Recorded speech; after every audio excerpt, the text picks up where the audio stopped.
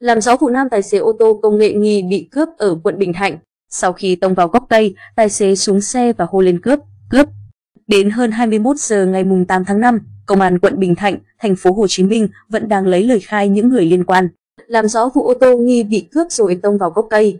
Theo thông tin ban đầu, khoảng 20 giờ cùng ngày, ô tô 7 chỗ, taxi công nghệ chạy trên đường Điện Biên Phủ, đoạn gần ngã tư Hàng Xanh. Khi đến đoạn thuộc phường 17, quận Bình Thạnh thì lao lên vỉa hè tông vào gốc cây rồi dừng lại. Sau đó, nam tài xế xuống xe và hô lên cướp, cướp người này bị thương ở tay và cho biết bị khách dùng dao tấn công.